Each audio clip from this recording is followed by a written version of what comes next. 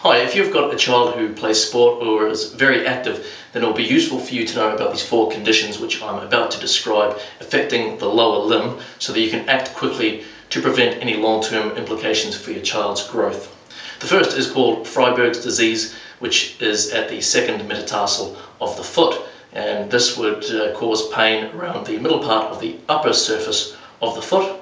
It leads to bony damage due to the quite close or tight joint configuration in that part of the foot.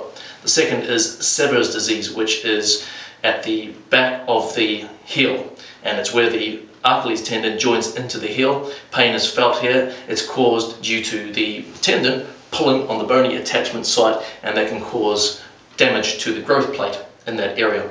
The third is Osgood-Schlatter's disease, which is pain at the front of the knee, just below the kneecap. It's a similar condition where the tendon pulls at the bony attachment site.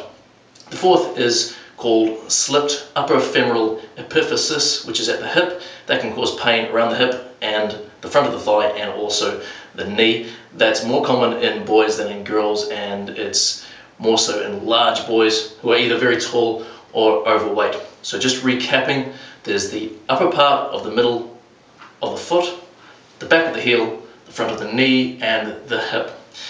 So these are caused by overload. They need to be x-rayed to confirm the diagnosis. They always need rest, sometimes need immobilization, uh, occasionally need surgery.